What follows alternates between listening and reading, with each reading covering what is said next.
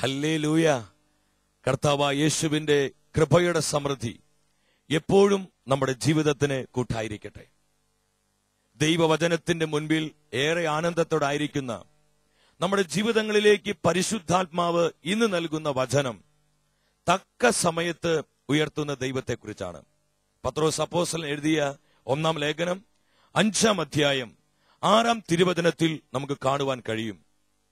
ദൈവത്തിന്റെ ശക്തമായ കരത്തിൻ കീഴിൽ നിങ്ങൾ താഴ്മയോട് നിൽക്കുവിൻ.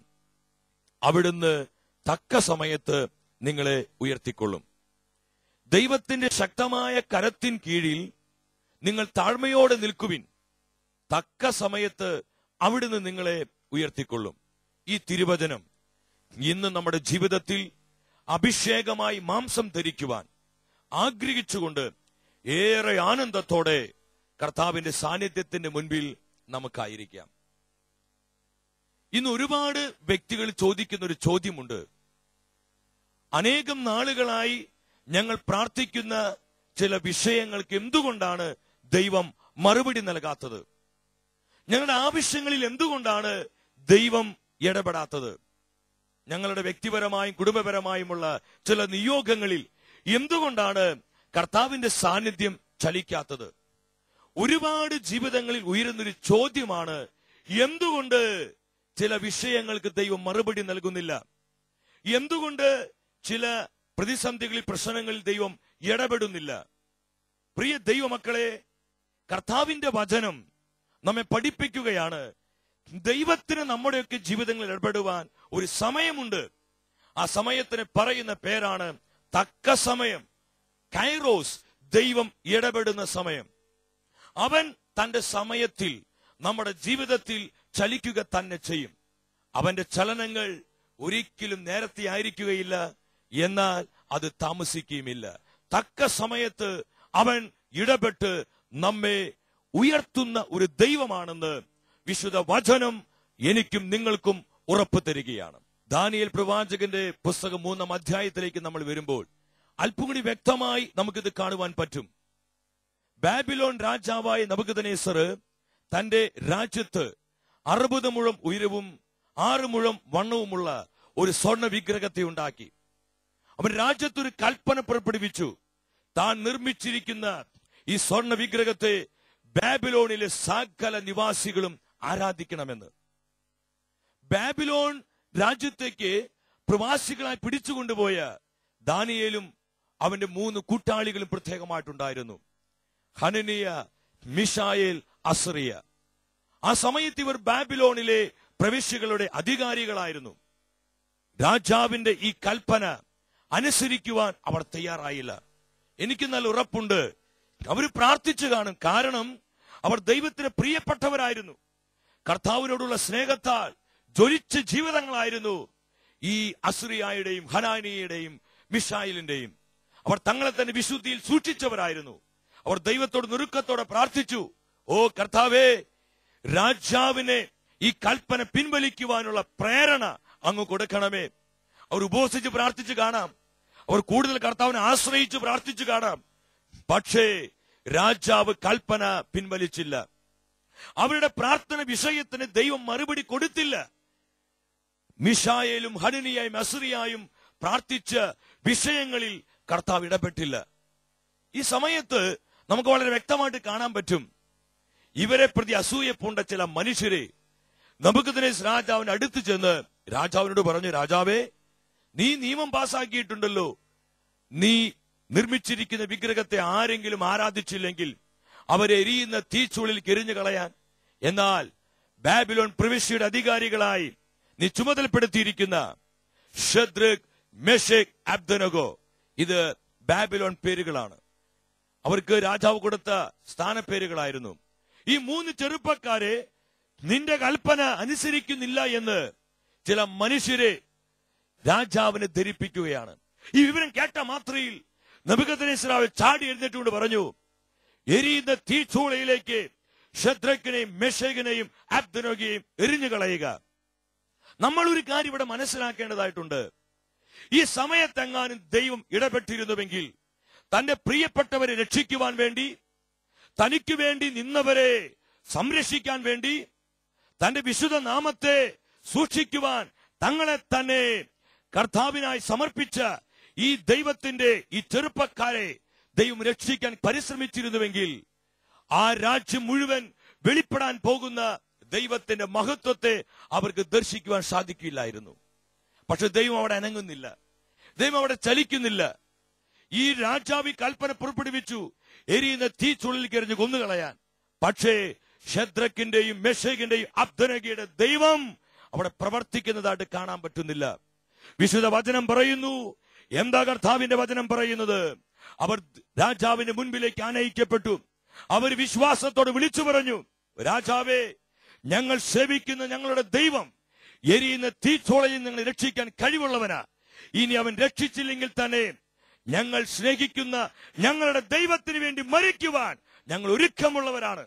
അത്രമാത്രം വിശ്വാസത്തിൽ അടിയുറച്ച കർത്താവിന്റെ പ്രിയപ്പെട്ട ജീവിതങ്ങളായിരുന്നു ആ മൂന്ന് ചെറുപ്പക്കാരുടെ ജീവിതങ്ങൾ. ഇന്നത്തെ യങ്സ്റ്റേഴ്സ് ഈ കാലഘട്ടത്തിൽ യുവജനങ്ങൾ ഈ അഭിഷേകം പ്രാപിക്കുവാൻ കർത്താവ് ആഗ്രഹിക്കുന്നുണ്ട്. ഹാലലൂയ ഈ ഒരു അഭിഷേകത്തിലേക്ക് നമ്മൾ കടന്നു വരണം. ഇവിടെ എന്നാ സംഭവിച്ചത്? ഇവരിത് വിളിച്ചു പറഞ്ഞു ഇരുപത്തിയൊന്നാമത്തെ വാക്യം.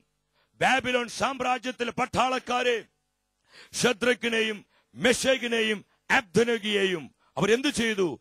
പടയാളികൾ അവരെ അങ്കി തൊപ്പി മറ്റു വസ്ത്രങ്ങൾ എന്നിവയോട് കൂടെ ബന്ധിച്ചു. പട്ടാളക്കാരെ ഇവരെ ബന്ധിച്ച സമയത്തും ദൈവം അനങ്ങുന്നില്ല. ദൈവം ഇടപെടുന്നില്ല. നമ്മൾ വിചാരിക്കും ദൈവത്തിന് എന്തു പറ്റി? ദൈവം എന്തുകൊണ്ട് ചലിക്കാത്തത്? വിശ്വാസത്തെ സൂക്ഷിക്കാൻ വേണ്ടി നിലകൊണ്ട് എന്റെ ജീവിതത്തിൽ എന്തുകൊണ്ട് ദൈവം ഇടപെടുന്നില്ല?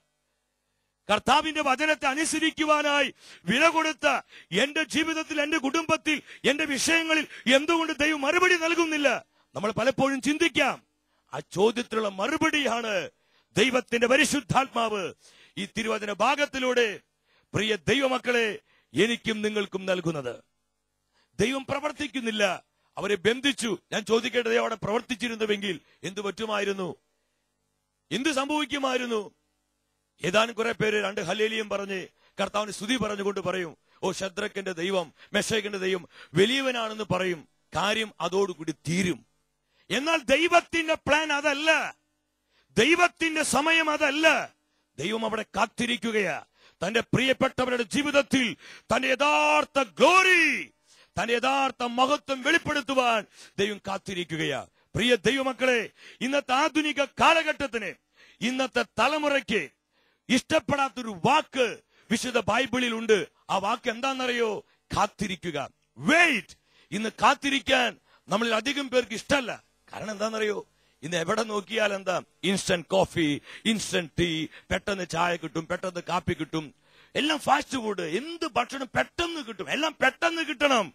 എന്നാൽ കർത്താവ് പറയുക ചിലപ്പോൾ നമ്മൾ വെയിറ്റ് ചെയ്യേണ്ടി വരും. ദൈവത്തിന് യഥാർത്ഥ ഗ്ലോറി കാണാൻ ദൈവത്തിന് യഥാർത്ഥ ചലനം കാണാൻ ദൈവത്തിന് യഥാർത്ഥമായ പ്രവർത്തനം കാണാൻ. പ്രിയ സഹോദര ചിലപ്പോൾ നമ്മൾ അല്പം വെയിറ്റ് ചെയ്യേണ്ടി വരും.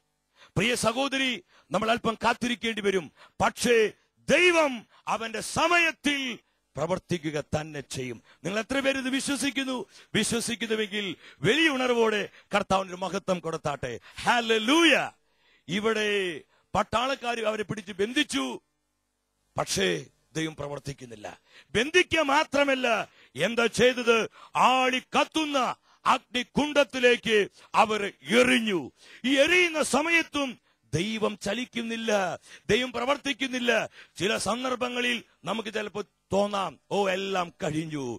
എല്ലാം തീർന്നു. ഇനി എന്തിനു ജീവിക്കണം? എല്ലാം അവസാനിച്ചു. പക്ഷെ ദൈവം പറയാ എന്റെ പൊന്നുമോനെ നിന്റെ ജീവിതത്തിൽ ഞാൻ ആരംഭിക്കാൻ പോകുന്നേയുള്ളൂ. പ്രൈസലോ ഇവിടെ ശദ്രക്കിനെയും മെഷേഖിനെയും അബ്ദനകയും നോക്കിക്കൊണ്ട് ദൈവം പുഞ്ചിരിച്ചു. ദൈവത്തിന് സന്തോഷമായി തന്റെ പ്രിയപ്പെട്ട മക്കൾ തന്നോടുള്ള സ്നേഹത്തെ പ്രതി വിശ്വാസത്തെ പ്രതി അവർ നിലകൊണ്ടപ്പോൾ കർത്താവിന്റെ ഹൃദയം ആനന്ദിക്കാൻ തുടങ്ങി. ഇതാ അവന്റെ സമയം വന്നു ചേർന്നു. അവന്റെ സമയം വന്നു ചേർന്നു. നമുക്ക് പറഞ്ഞു ചൂളയുടെ ചൂട് വർദ്ധിപ്പിക്കേ വർദ്ധിപ്പിക്കേ. ദൈവം നമുക്കതിനേസരോട് പറഞ്ഞു കാണാം. നമുക്കതിനേസറെ നീ മാക്സിമത്തിൽ പ്രവർത്തിച്ചോ നീ മാക്സിമത്തിൽ പ്രവർത്തിച്ചോ. പക്ഷേ അവസാന സമയമുണ്ടല്ലോ. ആ സമയമാണ് എന്റെ സമയം. അവിടെ എന്താ സംഭവിച്ചത്? നമുക്കതിനേസർ മാക്സിമം ഇവരെ നശിപ്പിക്കാനുള്ളതൊക്കെ ചെയ്തു. എന്നാൽ തീച്ചുളാളി കത്തി. അത് കത്തിച്ചുകൊണ്ടിരുന്ന പട്ടാളക്കാർ വരെ കരിഞ്ഞുപോയി എന്ന് വചനം സാക്ഷ്യപ്പെടുത്തുക. അവിടെ പ്രധാനമായ ഒരു കാര്യം സംഭവിച്ചു. എന്നാൽ ഈ തീച്ചുളയിലേക്ക് അവർ എറിയപ്പെട്ടു കഴിഞ്ഞപ്പോൾ ആ തീച്ചുളയുടെ മധ്യേ കർത്താവിനെ പാടിയും സ്തുതിച്ചും മഹത്വപ്പെടുത്തിയും ഈ ചെറുപ്പക്കാർ അങ്ങോട്ടും ഇങ്ങോട്ടും സ്തുതിച്ച് ആരാധിച്ച് നന്ദി പറഞ്ഞ് ആനന്ദത്തോടെ നടക്കുവാൻ തുടങ്ങി. ഇത് കണ്ടപ്പോൾ കർത്താവിന് പിന്നെ വെറുതെ ചുമ്മാ ഇരിക്കാൻ പറ്റുന്നില്ല. ഇത് അവന്റെ സമയം വന്നു ചേർന്നു. ദൈവം ഇടപെടുന്ന സമയം വന്നു ചേർന്നു. കർത്താവിന്റെ സമയം വന്നു ചേർന്നു. ദൈവത്തിന്റെ സാന്നിധ്യം കർത്താവിന്റെ ഗോരി ആ എരിയുന്ന തീച്ചുള്ളിലേക്ക് ഇറങ്ങി വന്നു. ഇതാ ദൈവം തന്റെ ദൂതനെ വിട്ടു. കർത്താവിന്റെ ദൂതൻ ആ തീ ജ്വാലയിലേക്ക് ഇറങ്ങി വന്നു. അവൻ തീ ജ്വാലയിൽ അടിച്ചു മാറ്റി ജലഗണങ്ങൾ കൊണ്ട് നിറച്ചു. ജലഗണങ്ങൾ കൊണ്ട് നിറച്ചു. കർത്താവ് തന്റെ ശക്തി വെളിപ്പെടുത്താൻ തുടങ്ങി. കർത്താവ് തന്റെ മഹത്വം വെളിപ്പെടുത്താൻ തുടങ്ങി. ഇത് കണ്ടുകൊണ്ടിരുന്ന നബുക്കദ്നേസർ രാജാവ് പെട്ടെന്ന് ചാടി എഴുന്നേറ്റ് പരിഭ്രമിച്ചുകൊണ്ട് പറഞ്ഞു ഏ നമ്മൾ മൂന്ന് പേരെയല്ലേ തീച്ചുള്ളിലേക്ക് എറിഞ്ഞു കളഞ്ഞത് എന്നാൽ ഇതാ ഞാൻ നാലാമതൊരുവിനെ കാണുന്നു. അവന്റെ മുഖം മനുഷ്യന്റെ മുഖം പോലെയല്ല. ദൈവദൂതന്റെ മുഖം പോലെ കാണപ്പെടുന്നു. രാജാവിന് മനസ്സിലായി. ഇത് പിള്ളേര് കളിയല്ല. ഇത് തമാശ കളിയല്ല. രാജാവ് എഴുന്നേറ്റ് ഒരു വിളംബരം പുറപ്പെടുവിച്ചു. ഒരു ദൈവമുണ്ടെങ്കിൽ ആ ദൈവം ഷദ്രക്കിന്റെയും മെഷേഖിന്റെയും അബ്ദനോഗിയുടെ ദൈവമാണ്. ആ ദൈവം ഇസ്രായേലിന്റെ ദൈവമാണ്. രാജാവ് കൽപ്പന മാറ്റി എഴുതി നിയമം മാറ്റി എഴുതി രാജാവ് വിളിച്ചു പറഞ്ഞു ഇസ്രായേലിന്റെ ദൈവമാണ് യഥാർത്ഥ ദൈവം. ആ ദൈവത്തെ നമ്മൾ എല്ലാവരും ആരാധിക്കണം. എന്ത് സംഭവിച്ചു ദൈവമക്കളെ? ബാബിലോൺ സാമ്രാജ്യം മുഴുവൻ നമ്മുടെ കർത്താവിന്റെ ഗ്ലോറി കണ്ടു. നമ്മുടെ കർത്താവിന്റെ മഹത്വം കണ്ടു. സകല മനുഷ്യരും ആ മഹത്വത്തിലേക്ക് കടന്നു വന്നു. ഞാൻ നിങ്ങളോട് ചോദിക്കട്ടെ? ദൈവം ഈ പ്രവൃത്തി ആദ്യമേ ചെയ്തിരുന്നുവെങ്കിൽ ഇത് സംഭവിക്കുമായിരുന്നു. നമ്മൾ നിരാശപ്പെടേണ്ട. ഞാനും നിങ്ങളും തളരണ്ട. നമ്മൾ അസ്വസ്ഥരാകേണ്ട. അവന് നമ്മുടെ ജീവിതത്തിൽ പ്രവർത്തിക്കാൻ ഒരു സമയമുണ്ട്.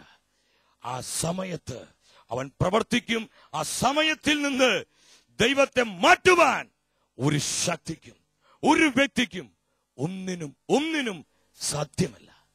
പ്രിയ ദൈവമക്കളെ ഈ വലിയ യാഥാർത്ഥ്യം നമ്മൾ തിരിച്ചറിയുക. ഇന്ന് അനേകരുടെ ജീവിതത്തിൽ ഒരു പ്രധാന പരാജയത്തിന് കാരണം. ഇന്ന് അനേകരുടെ ജീവിതത്തിലെ പല തകർച്ചകൾക്ക് കാരണം. ഇന്ന് അനേകരുടെ ജീവിതത്തിലെ പല കണ്ണുനീരിനും ദുഃഖ ദുരിതങ്ങൾക്കും കാരണം.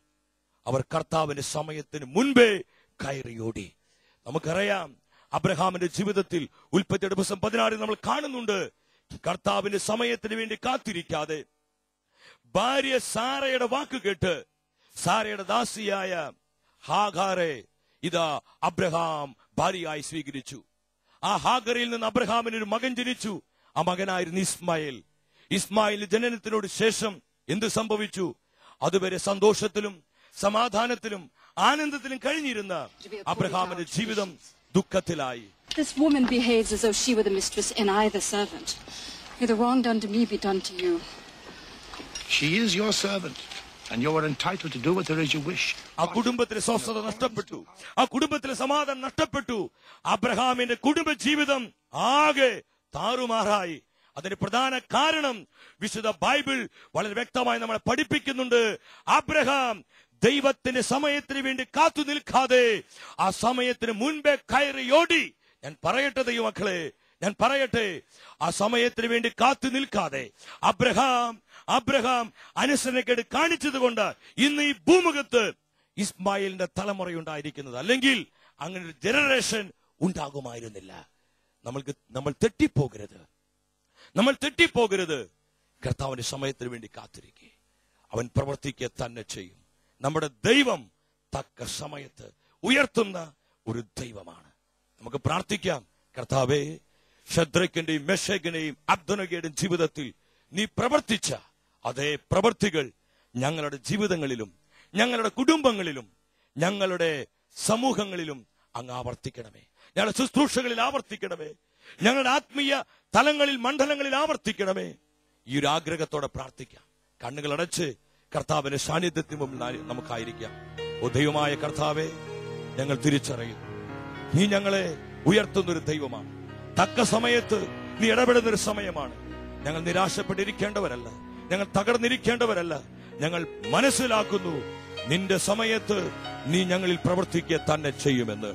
കർത്താവെ ഈ തിരിച്ചറിവോടെ അങ്ങനെ ശക്തമായ കരത്തിന്റെ കീഴിൽ താഴ്മയോടെ ഇരിക്കുവാൻ ഞങ്ങളെ നീ സഹായിക്കണമേ. ഞങ്ങളെ നീ അഭിഷേകം ചെയ്യണമേ. പരിശുദ്ധ അമ്മേ ഞങ്ങളുടെ അമ്മേ സകല വിശുദ്ധരെ ഞങ്ങൾക്കായി പ്രാർത്ഥിക്കണമേ. കർത്താവിന്റെ കൃപയും സാന്നിധ്യവും എപ്പോഴും നമ്മുടെ ജീവിതങ്ങൾക്ക് കൂട്ടായിരിക്കട്ടെ. അവന്റെ അനുഗ്രഹത്തിന്റെ സമൃദ്ധി നമ്മുടെ ജീവിതങ്ങളിലേക്ക് വ്യാപരിക്കട്ടെ. അമേൻ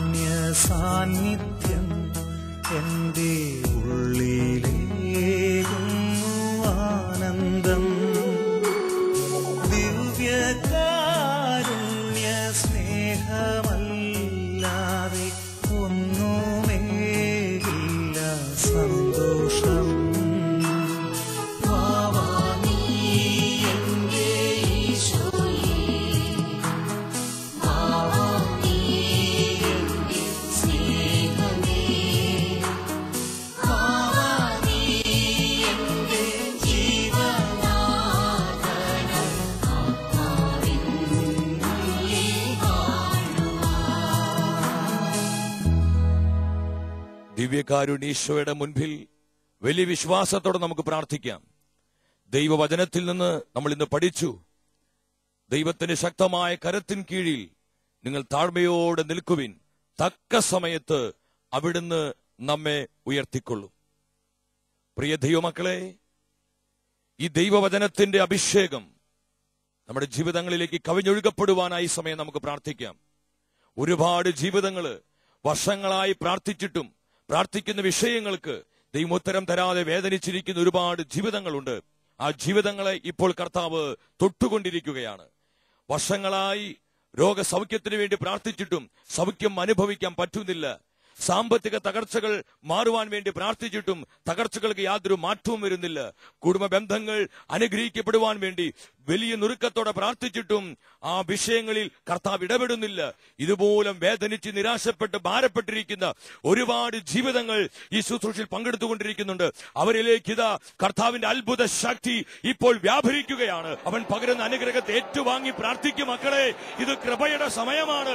കർത്താവ് നമുക്ക് വേണ്ടി പ്രവർത്തിക്കുന്ന സമയമാണ്. രണ്ടായിരം വർഷങ്ങൾക്ക് മുൻപ് അന്ധരുടെ കണ്ണുകളെ തുറന്ന അതേ കർത്താവ് തറവാതിരുകൾ എഴുന്നേൽപ്പിച്ച അതേ യേശു മരിച്ചവർക്ക് ജീവൻ കൊടുത്ത അതേ യേശു ഇതാ നമ്മുടെ ജീവിതങ്ങളെ തൊട്ടു തലോടുന്നു. അനേകരെ സ്പർശിക്കുന്നു. അനേകരെ സൗഖ്യമാക്കുന്നു. അനേകരെ വിടുവിക്കുന്നു. വർഷങ്ങളായി പ്രാർത്ഥിച്ചിട്ടും ഉത്തരം കിട്ടാത്ത വിഷയങ്ങളിൽ അവനിത് മറുപടി കൊടുക്കുന്നു. ആഗ്രഹത്തോടെ പ്രാർത്ഥിക്കാം. നിലവിളിച്ച് പ്രാർത്ഥിക്കാം. ഇതാ യേശു തന്റെ കൃപ പകരുന്നു. ഹാലലൂയ ഹാലലൂയ വിളിച്ചു പ്രാർത്ഥിക്കും മക്കളെ. യേശുവിന് വിളിച്ചു പ്രാർത്ഥിക്കേ. ഇത് കൃപയുടെ സമയമാ. അത്ഭുതത്തിന്റെ സമയമാ. വിടുതലിന്റെ സമയമാ. സൗഖ്യത്തിന്റെ മണിക്കൂർ. വിശ്വാസത്തോടെ പ്രാർത്ഥിക്കാം. ഹലലൂയ ഹലലൂയ ഹലലൂയ യേശുവെ ആരാധന ആരാധന ആരാധന. യേശുവെ ആരാധന ആരാധന. വേദനിക്കുന്ന ജീവിതങ്ങളിലേക്ക് ആശ്വാസമായി. ഓ മുറിവേറ്റ ഹൃദയങ്ങളിലേക്ക് സൗഖ്യമായി. തകർന്നിരിക്കുന്ന ജീവിതങ്ങളിലേക്ക് അഭിഷേകമായി. ഓ കർത്താവേ നിന്റെ സാന്നിധ്യം വ്യാപരിക്കട്ടെ. നിന്റെ ശക്തി വ്യാപരിക്കട്ടെ. നിന്റെ ക്രമ വ്യാപരിക്കട്ടെ. തകർന്നുപോയ ബന്ധങ്ങളെ ഓർത്ത് നെടുവീർപ്പെടുന്ന ഒരുപാട് മക്കളെ കർത്താവ് കാണുന്നു. അവരിലേക്ക് എല്ലാം അഭിഷേകമായി സൗഖ്യമായി അനുഗ്രഹമായി സ്നേഹമായി ഇതാ കർത്താവ് ചലിക്കുകയാണ്. കർത്താവ് ഇടപെടുകയാണ്. ഇരു കരങ്ങളും കർത്താവിന് മുൻപിലേക്ക് ഉയർത്തി നിലവിളിച്ച് പ്രാർത്ഥിക്കും മക്കളെ. സ്വർഗം തുറക്കപ്പെടുന്ന സമയം അഭിഷേകം ഇറങ്ങുന്ന സമയം പരിശുദ്ധാത്മ വെളിപ്പെടുന്ന സമയം. ഹാലലൂയ ഹാലലൂയ ഹാലലൂയ യേശുവിനെ വിളിച്ച് പ്രാർത്ഥിക്കേ വിശ്വാസത്തോടെ പ്രാർത്ഥിക്കേ ദുരുക്കത്തോടെ പ്രാർത്ഥിക്കേ. കർത്താവ് ഇടപെടട്ടെ കർത്താവ് ചലിക്കട്ടെ കർത്താവ് സുഖപ്പെടുത്തട്ടെ.